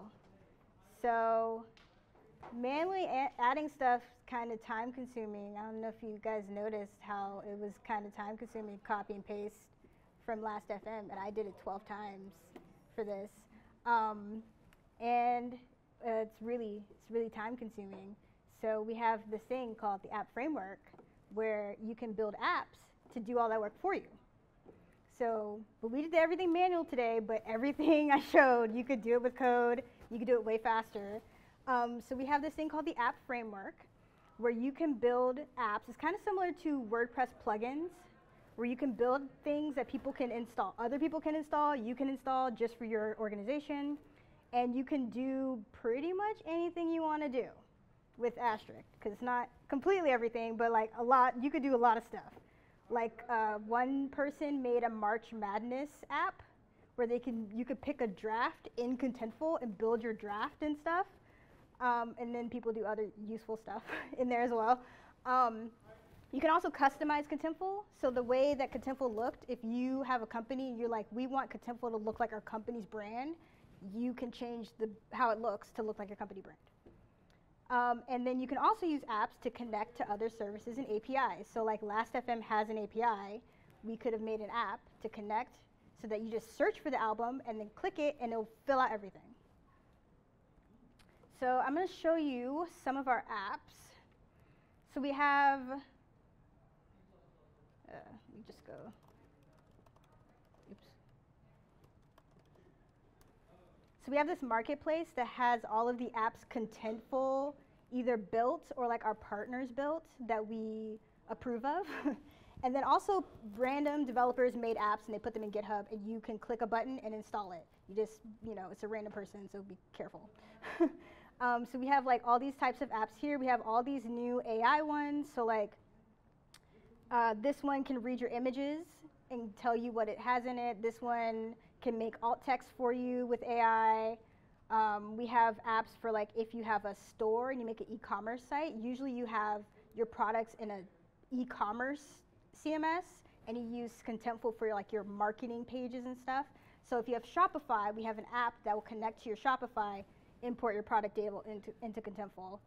Um, so there's like lots of really cool apps, and you can make your own, and it's not that hard. Um, we have like we have a create app app like create React app where you just run create I forgot what it's called a Contentful app, and then bam you have a boilerplate, and we have it in React, Vue. We have like a I think like 12 different ones, so depending on what language you want to use, and when you're making an app, so I keep saying you can customize everything. You can't customize completely everything, but like that space homepage, um, this page that some of you couldn't see because it was onboarding, you can customize this to say whatever you want. So it could be a dashboard of like how are our blog posts doing on Google Analytics, or who has edited what thing because you might have 100 people doing stuff and you can't figure out who's doing what. So you can change this whole page to do whatever you want. Um, you can also customize the entry editor. So when you were in an entry, you can change this to do whatever you want. um, you can also change, you can add an app to the sidebar. So the sidebar doesn't have to look like this. You can add other stuff here. So there's a there's like a Google Analytics app where you can see like how this page is doing in Google Analytics if you connect to Google Analytics.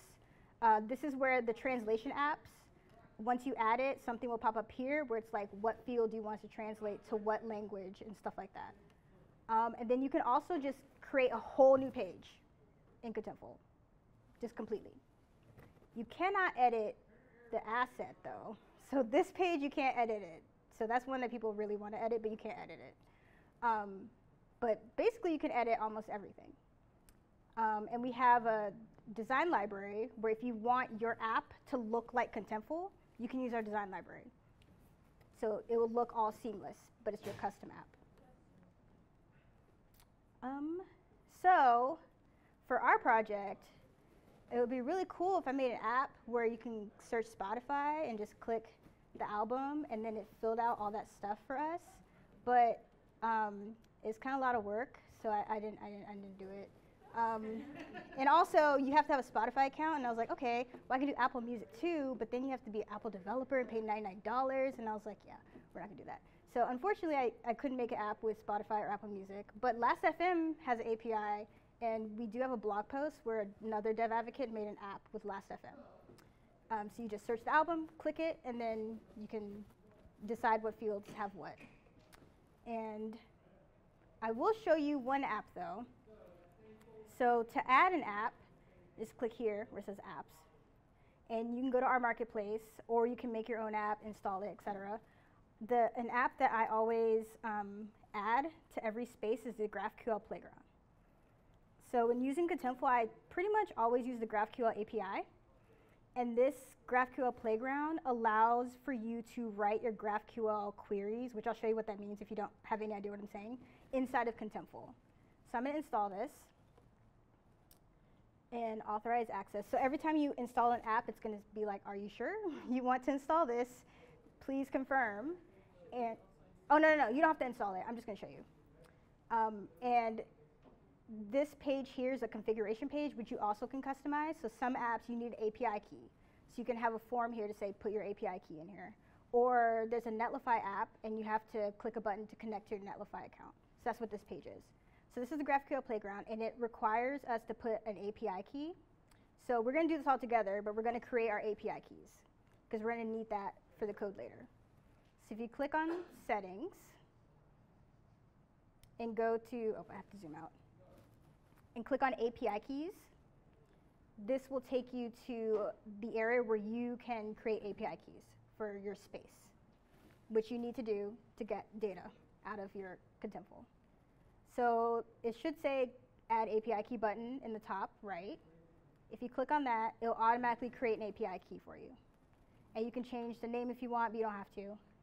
Um, so here I have your space ID, which you'll need a lot if you want to do the Contentful CLI, stuff like that. It also is in your URL up here. So in case you're like somewhere else and you don't feel like coming to this page, you can grab it there. This is the API key, the content delivery API key. This is the API key we'll use in our project to get our data to show up in our project. This is the read-only one that gives you published content. So it's okay if anyone sees it. And then the preview one gives you draft content. Also read-only, okay if anyone sees it. And you can also decide if you have multiple environments. You can have multiple, you can have a staging environment, main environment, whatever you want. You can decide which environments use your API keys. So I'm just going to grab this one for the GraphQL API, and we'll use these API keys later. So I'm just going to, oh, I didn't, didn't install.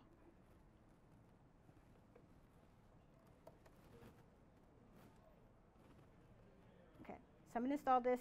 You don't have to follow along. I'm just going to show you this app. So I'm installing it. And depending on where the app lives, uh, you might have to click something different. So like if you installed an app that customizes the homepage, you don't have to go anywhere. It's just going to, you go to the homepage, it'll be different. Um, for the GraphQL app, it lives here in this list right here. So I click on this. Uh-oh. The rainbow wheel of death. Okay. So this app allows you to write queries for your content within Contentful. Um, so I will show you what our project has, but like in here I have an album collection. So this is saying I want to get all of my albums. And I want to get all the items in my al album collection. Oh, wait, let me zoom. And I want to have the name of the album and the artist name, and that's, that's good enough. And then if I run this, it shows me my output. So here are all my albums with the artist name and Beyonce as a name. So I really like this app because I can build my GraphQL queries inside of Contentful. It's really easy.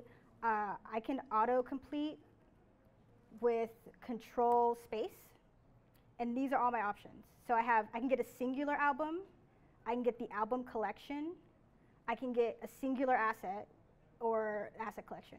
And for the singular ones, you just have to put the ID of it. Um, so this is, I find this super useful. um, so I always add this when I'm, um, oops, when I'm using GraphQL. And this is an example of an app that takes over an entire page. So this is a custom page app that actually my, the old DevRel manager of Contentful made this. And you don't have to follow along. I just like this app. It's just an app to help you. It doesn't actually do anything. Um, okay. Okay, so we're finally going to go to the code. um, so uh, again, we're going to, hopefully some of you all will be able to run this on your computers. Um, so if you go to this GitHub repo, and you can fork the repo, you can download the code, just get the project on your computer however you want to get it. If you, um, I'll just wait till you guys get there, but go to this link.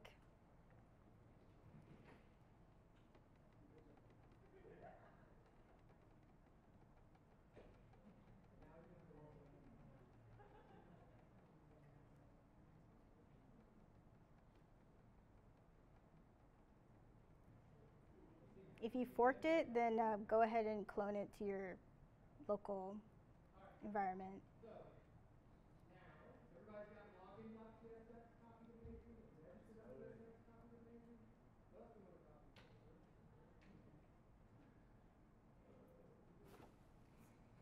Okay. So this is the repo. Everybody on the repo? Okay, so if you want to fork it, go ahead and fork it, and then click on code, grab the link, and clone it. I'm going to clone it as well. If you don't have a GitHub account, you could just download the zip and open it.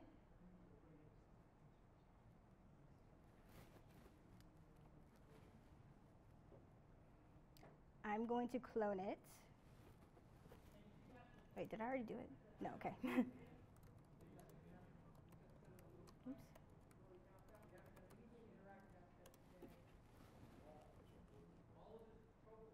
And also, all these steps, again, are in the README, so if you're like, I don't want to do this right now, you don't have to. um, so I cloned it. I'm going to go into the um, folder.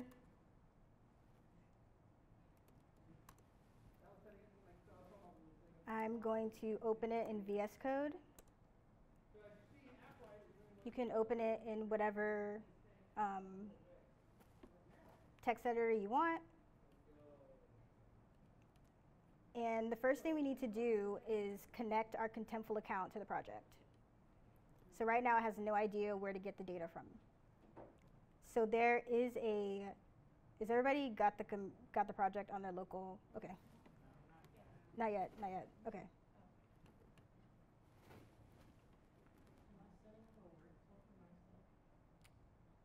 Sorry? Uh, David's coming to help you.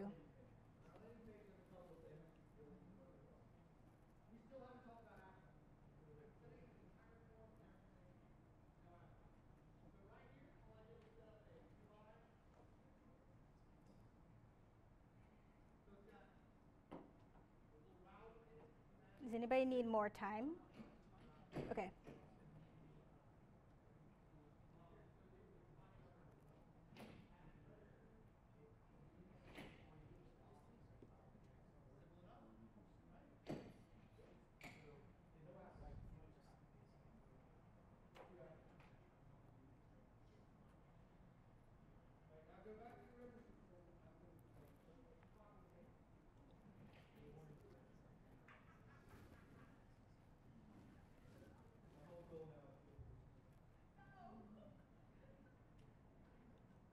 For those of you waiting, um, one thing you can do is make a .env .local file, copy what's in the .env .local example into that file.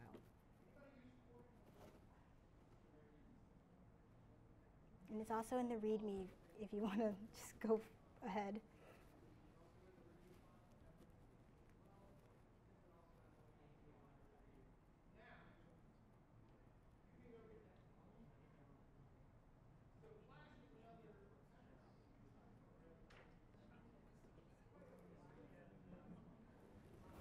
You already got it?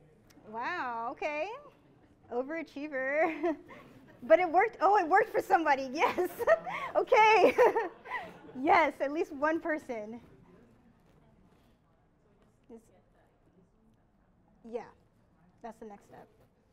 I'm so glad. Dave and I were working on it last night at midnight, so I'm glad it worked.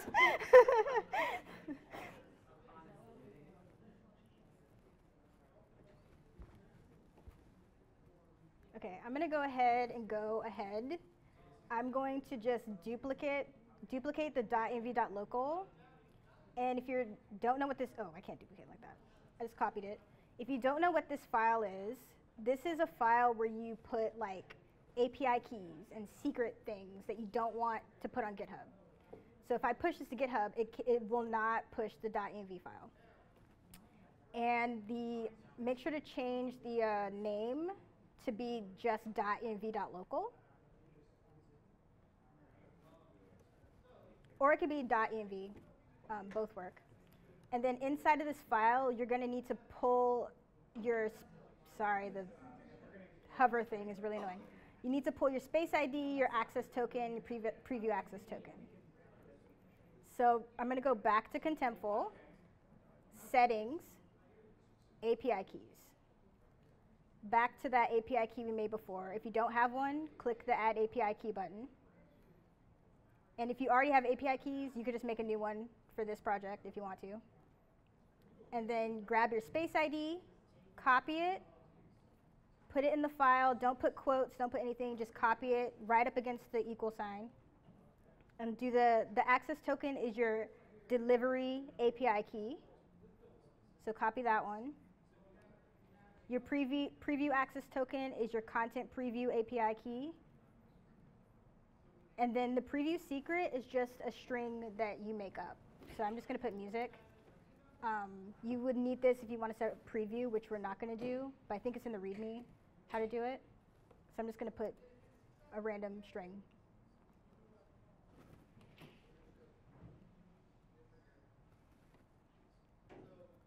And we're doing this because we're going to do a few requests to the GraphQL API to get our data, and it needs our space ID and access tokens. And these right now are variables that we use in our code.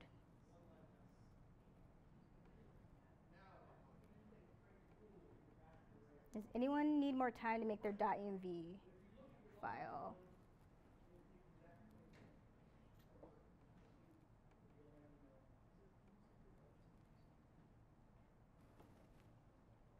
So if you've done this, if you go back to your terminal, npm install. Oh, if you don't have Node, then I don't know. What's it? you, you need Node. Um, you can install it real quick. Um, so npm install and then npm run dev. And it should start localhost 3000 unless you have something already running. And if you go to localhost 3000, it should have whatever entries you put. So we'll stop here to try to get people at this to this point. Is anyone successful? Yes. Two people. Three people. Yes. Okay.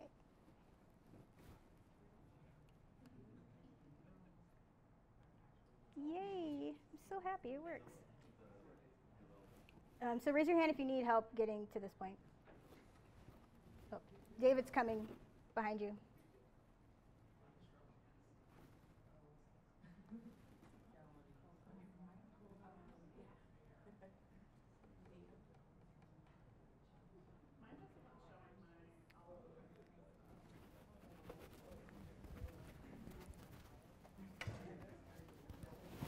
So I added those. Oh, your .env file changed the name. Oh wait, Oh, I put them in the wrong way. no, no, no, you did. You did the right. Um, have Have you restarted your um, server? Yeah, just end it, and then do npm run dev again. Okay, and then refresh.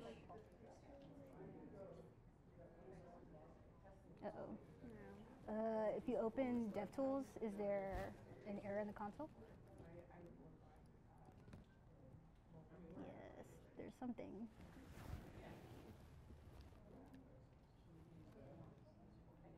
Failed to load. Oh no, that's that has nothing to do with it. It's a Chrome extension. Um, let's look at your content model.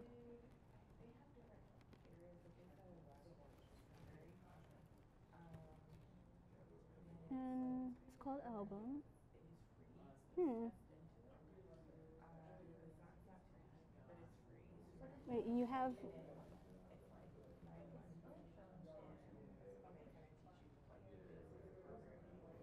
Um, go back to settings API.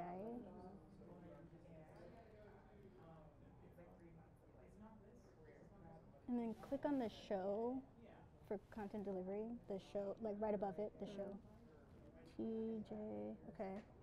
And the uh, preview doesn't matter. That one, that wouldn't mess up the home page. Huh.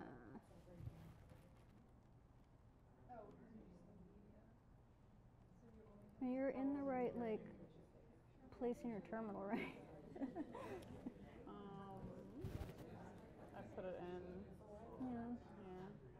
Oh, um, kill your kill your um server. Check your node version. I just updated that yesterday, I think, so it should be. Oh, Is it you not? might be one sixteen too low. Like uh, Okay. Okay. it's like so- sixteen. It's like 16.8 is their is what the go-to for this. So you would need something. Point thirteen. So I, oh, I need to go. I'm too updated, or No, you- not No, you need to go higher. Oh, okay. Go higher. Do you have NVM? Yeah, I oh I updated it yesterday, but I did it on my whole like separate. Okay, I'll I'll figure that out. Yeah, just your node has to be a little higher. Yeah, I did it for like one repo yesterday, but uh, yeah, I did. I mean, if you have NVM installed, then just use, go to the latest, which is like 18.15. How do you do that? Just npm. Just NVM install uh, 18.15.0. How do you memorize that? I do this way too often. Like, does that look normal? Yes. okay. And then from there, you'll just do NVM use 18.15. Okay, okay. I did read that on Stack Overflow yesterday when I was trying to get it from my other one. But I haven't seen this before. Is that right? We're just gonna let that, it's gonna do a little dance. Yeah, just gonna. Yeah, It's, it's probably their, gonna- it- it's their loading. Okay, okay. Dance. Cool. Alright, so NVM use 18. Okay, cool. Sweet. Sounds good. Love it.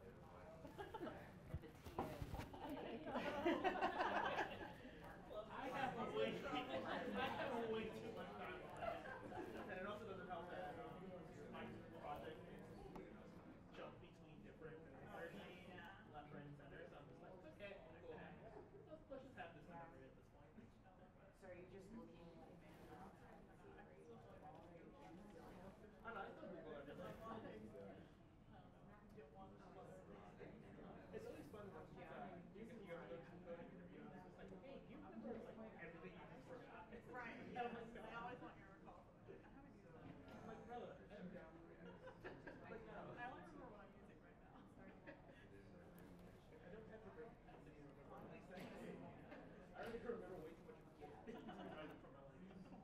Okay, while we're waiting for people to catch up, I'm going to talk about the code a little bit.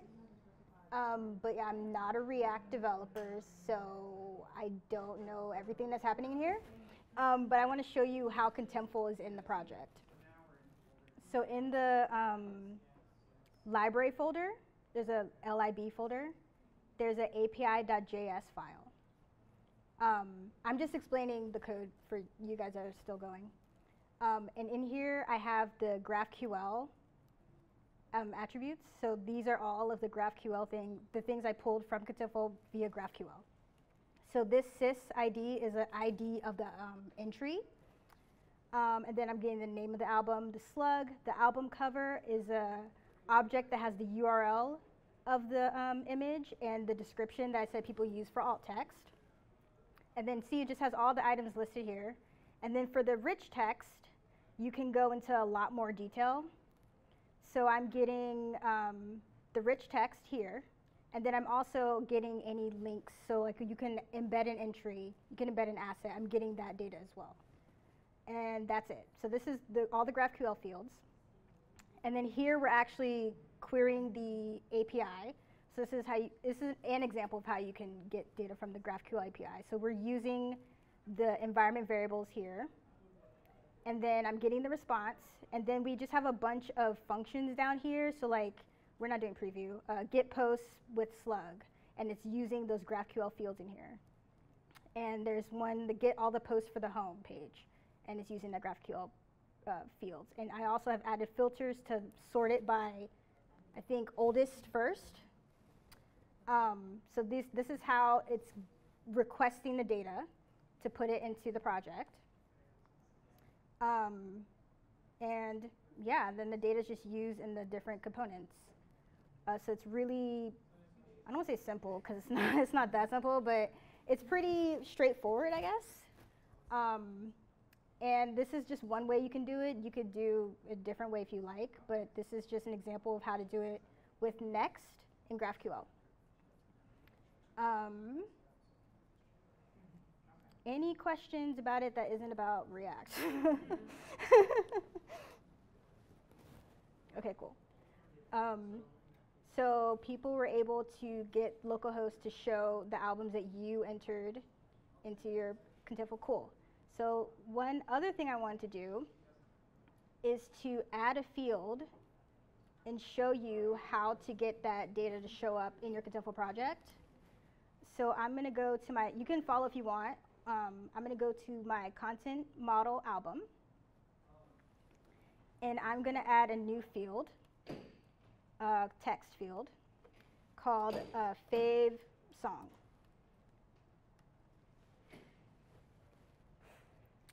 And I'm just going to have it be a text field. Don't have to click any other stuff, just text field. Just make sure your field ID is fave. Actually, your field ID can be anything because we're going to add this. So you don't have to do exactly the same as me. It's not already in the code. I'm just going to do fave song. I'm just going to add it and confirm. You don't need to do any other stuff. So I added fave song. So I'm going to save that. Then I'm going to go to one of my entries. I'm going to Beyonce. And it'll be at the bottom. Also, by the way, just in your content model, if you want to change the order, you can drag them. Like that. Um, so I'm going to add, I'm going to say my favorite song in this album is Drunk in Love. And I'm going to publish.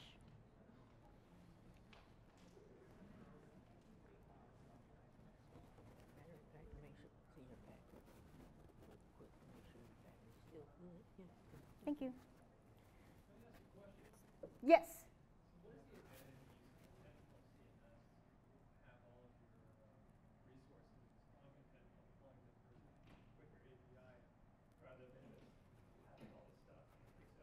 I think because not just developers are using it, so the UI allows anybody to add content and manage content. And the develop a good thing about it is developers only have to help the most at the beginning, and then you can be more hands off later. So I think it's definitely the UI and the user experience. Because um, yeah, otherwise we wouldn't, we wouldn't need CMSs if we could just grab the stuff from faster. So Oh, yes. So pretty much somebody that's not technical can use it as well. You need a developer because somebody has to do the front end. But yes, they can add content. Like it's set up so really hard for someone not a developer to mess up your website. Versus WordPress is really easy to for someone who's not a developer to like mess it up because you could just put JavaScript in there or HTML and then mess up a page really easy with the WYSIWYG. But this is set up so that it's more foolproof. So it's e- harder for people to mess it up on their own. Um, I wouldn't say it's better than WordPress. It just depends on what you need. Like if your company has PHP developers, then maybe just do WordPress. Um, but if you want more flexible, flexible structure, and also if you want your content to be easily usable across multiple platforms, then I would use a headless CMS, probably. But it definitely depends on what you currently have, because some people they come to us and they're like, oh, we want to do this. And I'm like, you should just use WordPress. that would be easiest for you. So it just depends. Yeah, there's other, uh, there's Sanity, um, Strapi, Hygraph, Storyblok. There's a lot of different ones. And everyone has like a blog starter or something so you can see what the same type of project is like in each one. So I definitely recommend trying them out for each one. They're all pretty similar. Some of them have like a certain feature that the other ones don't, so it might be important for your company. Um, but yeah, I would try them all out and see what's up. I think some of them are more developer friendly than others. So if you're like, we need 100 marketers to be in here, maybe you don't want the one that's super dev friendly because you need one that's more non dev friendly or something like that.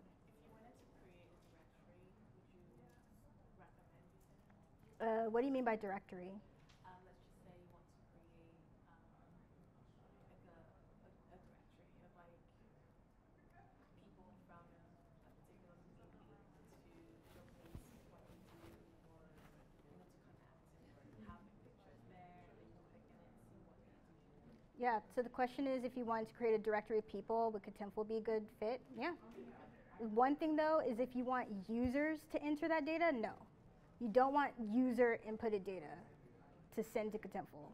You, the data comes from your company. Um, yeah. But if it's you entering it, yeah, it could work. Um, so yeah, I added this fave song field. So now it's in my content model, in my content. So I'm going to go to my code, to the library folder, app, api.js, and I'm going to add favorite song to my GraphQL query. And you need to add the API identifier. So I have fave song. So whatever you put, put here, it doesn't matter where, somewhere in your GraphQL fields. So save that. And then um, I want it to show up in my project. Oh, this is not my local host. I want to show up in my project. Oops, wrong one. like on this page, right here. So this uh, component is under components. It is post header, um, but it's on. It's within the pages folder. Post. It's in the slug page. So every one of those pages is in the slug is built from the slug.js file. So I'm gonna click on slug.js file, and here's my post header. So I need to pass the data from my GraphQL query into the post header. So I'm gonna add a prop here that's fave song, and it would be whatever you put your you called your field. So I'm just making sure the post header has access to the fave song data. And I'm in the slug.js file that's inside of the pages folder. So we added the field to content type. I added the data to one of my entries. We added the field to our API request. And now I'm passing it down to the post header component. And then within post header, I'm going to add fave song here, along with all my other. Uh, that's just the name of my folder. Um, post headers inside of components. And then I'm going to add it underneath this UL, music labels UL. I'm going to add a paragraph, class name, favorite song. And I'm going to put fave song here. And if you add this class name, I added some CSS. Um, that will make it look a little fancy. Yes? I'm sorry, I don't want to keep interrupting. I just got a quick question. Based off of what I'm saying right here, right? You have this project that already has all these different be?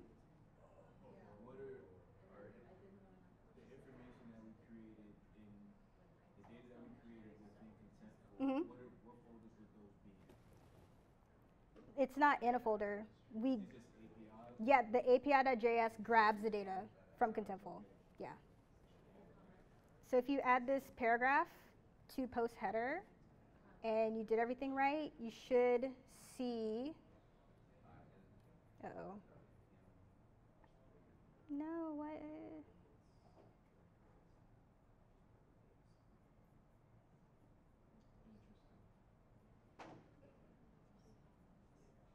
Hmm.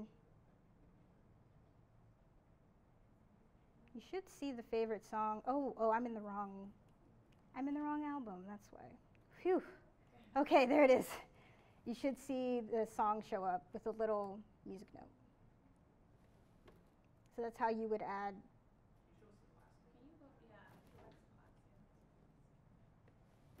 Favorite dash song.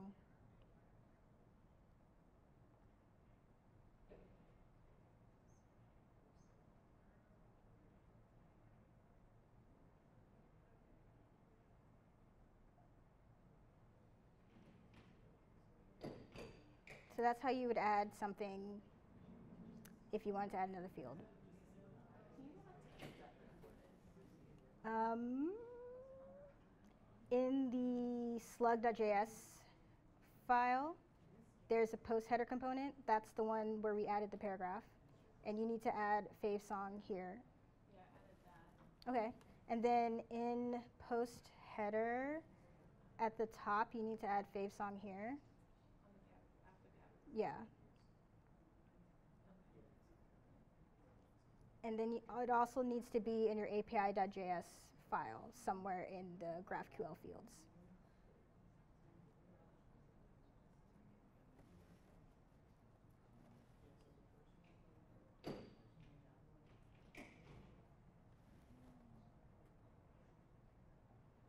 Is anybody able to get it to work?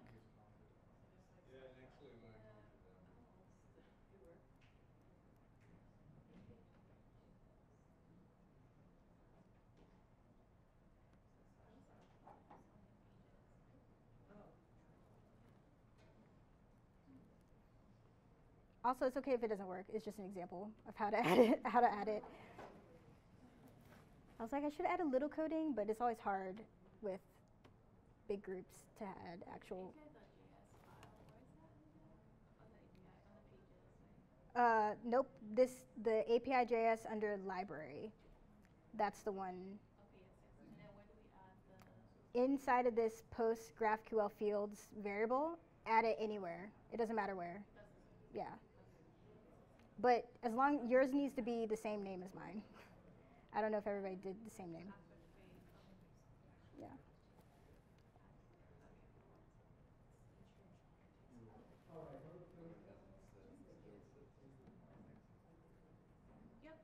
It works. Yay.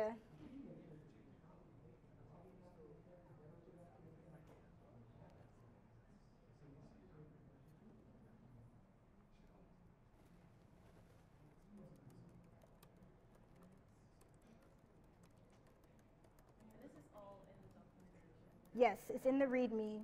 Oh well, the adding the fave song is not in the README because I just want to just add something to show you, but everything else is in the README.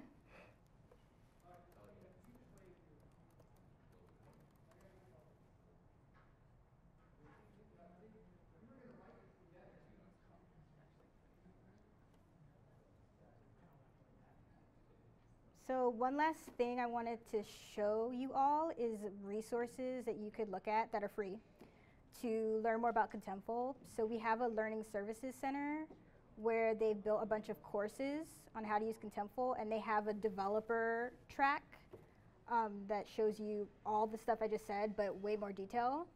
Um, so if you want to make an app, oh, also if you want to make an app, David back there made a video course on the app framework. Video course, Contentful. Let's see if I can find it. Here it is. So it has step by step on how to create an app with Contentful if you want to make your own app. Um, but the learning services has like how to migrate content, how to do previews, how to do localization, all that stuff. And it's like um, interactive, so it's not just like videos, it's like some videos, some interactive, it quizzes you a little bit. And also eventually you can get a certification if you want to. But that's a good place to start. Also, we have this um, Technologies Getting Started page on our website where we have videos we made on if you want to get started with Gatsby, Next.js, React, GraphQL, I think regular JavaScript is one. Um, and then we also have guides for like Remix and Ruby and Angular. And um, so you can pretty much use whatever you want with Contentful. Um, and again, I would definitely recommend checking out the developer showcase to see the more fun, less corporate things people have made.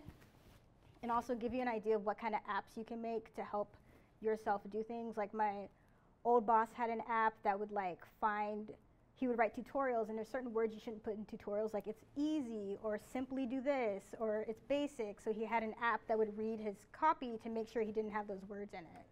He had an app that would tell you how long it would take to read his blog posts and stuff like that. So like little things like that that you can make that are really simple.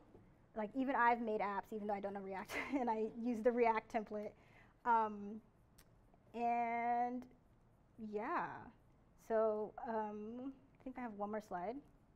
So yeah, the, the last things you can do is add more entries if you want. Add all 12 entries. You can change the theme. I use CSS variables, so you can just change the colors real quick if you want to change it up. You can try to add your own fields in there if you're feeling spicy. Um, and yeah, hopefully you try to make something with Contentful. I find it really fun to make little side projects. Um, and yeah, that's that's that's it um, for the workshop. Thank you. And David and I can answer any questions if you have any. Yes. So, you mentioned like for people who have up to like 50, I guess, content types in, in a project, how many projects are you actually like able to build out? So you're supposed to only put one project per space. However, if you're just like doing your portfolio and a blog, you could put them in the same space. Yeah, like that Broadway uh, um, periodic table I made is in the same space as my theater log project because the, the periodic table has one content type. So you have up to 20 for free. So I just put it in the same one. But technically sales is like, you should have one space per project so people will buy spaces. but yeah, as long as you don't hit the API limit, so like I think it's 4 million um, per month, then, then you can, you're good.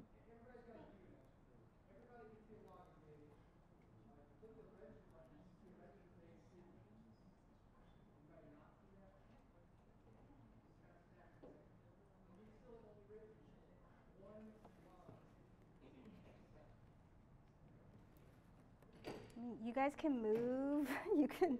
Oh, we have swag in the back, so please take it because I, my suitcase is really heavy. So um,